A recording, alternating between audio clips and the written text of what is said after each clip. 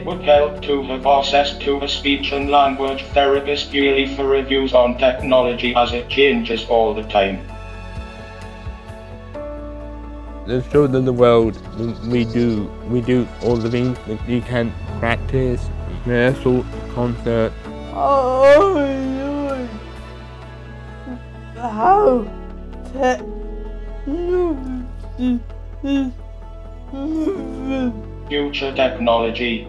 I would like it to read my mind and predict answers based on my regular scenes.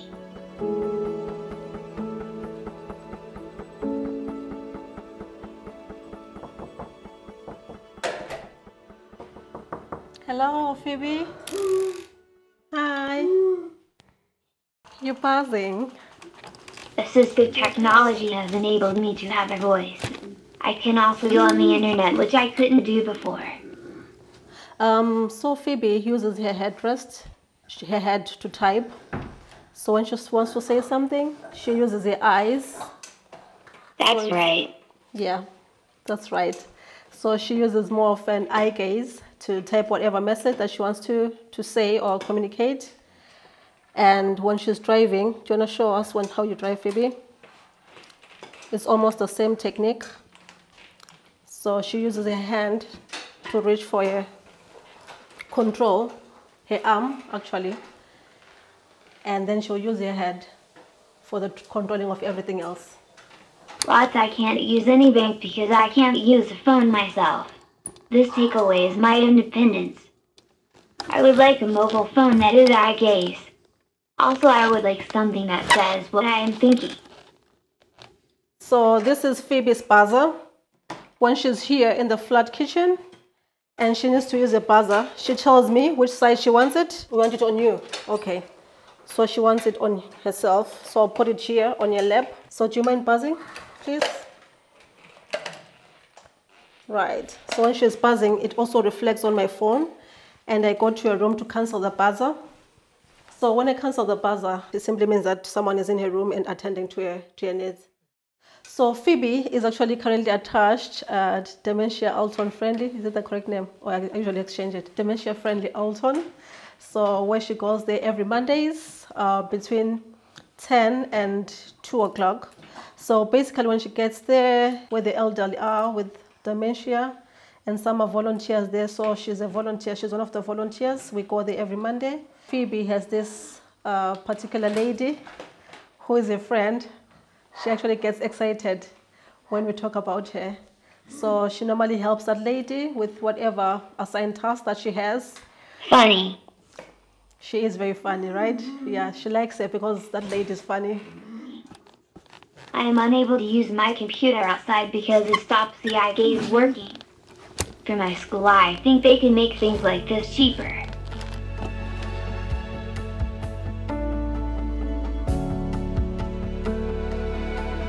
Hello, my name is Sahira Khan. I am a freelance artist and creative. I'm married and I have two children. My eldest daughter is hearing, and my youngest son, uh, he is with Down syndrome and he is four years old. So I use my iPhone, laptop, and I use this every day. So with my iPhone, I use this for messaging, using remote services. So, for example, um, I'll have an appointment with a GP and I need to explain physical elements about my son's health. So, it's more visual when it's face to face. But if I've gone to the hospital for an audiology, then I could use the remote services. I may not need an interpreter. But if it's linked to a physical check or anything linked to physical health, then I would use remote. So I think it really depends on the situation. The big barrier is when there's no Wi Fi, no Wi Fi connection, or I have no data. That's really difficult to access anything. And that's what I need. I might not have insurance for my iPhone or my laptop. And if it is damaged or broken, I know it's quite expensive to get this repaired. Also, to use the remote services, you have to pay for that, and that can be expensive as well.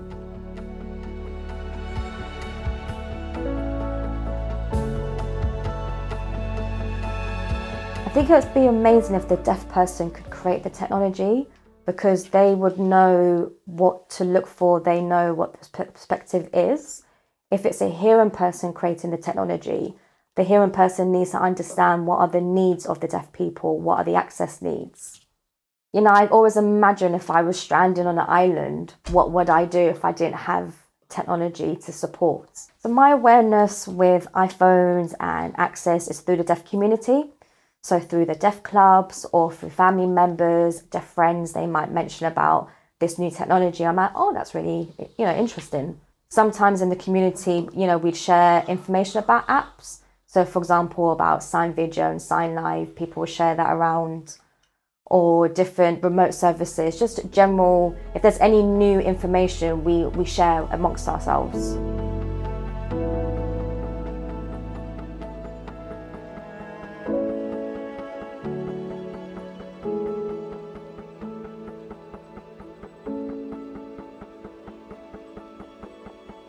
How digital assistive technology has made a big impact in my life.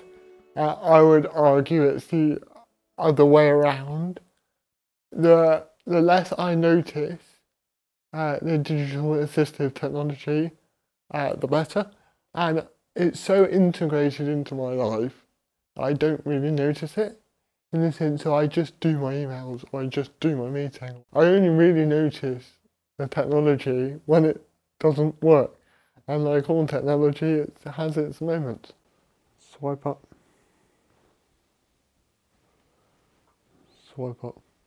Without the digital assistive technology, my day would look very different. Um, from literally the first thing I do is turn my lights on with uh, my Alexa. At school, tech was seen as like this silver bullet for my education and that all my problems are going to be sorted by just using this new computer program. I had like a writing session at school when I was at primary. We'd do it every morning. It was like two hours of writing. I'd have to write a story or I'd have to write a newspaper article or whatever the thing was.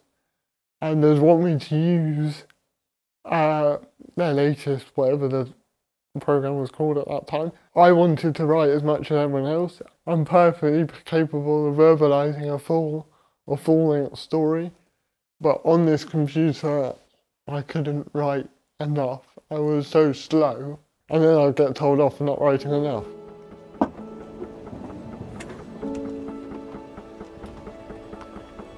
So I have my ignition is here, and the starter is there. My handbrake is a button there.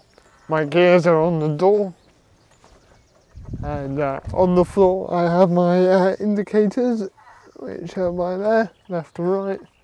And then I have the lights which is that one there. Uh, this is the driving assistant, I hold on to it and it just stays there. And it's spins round so I can drive. And then the, the wipers are automatic. So I just leave it in automatic. It's so important, it's so so important that disabled people are involved in the designing of assistive technology, I think I can tell literally straight away if a disabled person has been involved in the design or they haven't. So the inclusion of disabled people into the design of whatever accessibility project it is is so, so important. I was given Dragon when I was at school. They said to me, oh, it's going to take ages for you to train it, but you need to be able to train it. But you need to spend like three or four hours a day training this piece of tech. When I'm at school, when I'm a teenager at school, spending three or four hours a day talking at a computer for no discernible like end goal in the sense of I'm not getting marked on that work, I'm not getting there's no feedback to it, it's just me talking at a machine. That's a lot of energy expended for something that might not work. I think technology definitely has a place. I use it all the time. I, I, I, I wouldn't want to be anti-technology because I'm not. It just, it can't be the solution to every single problem. And people helping people is, in my opinion, always going to be necessary.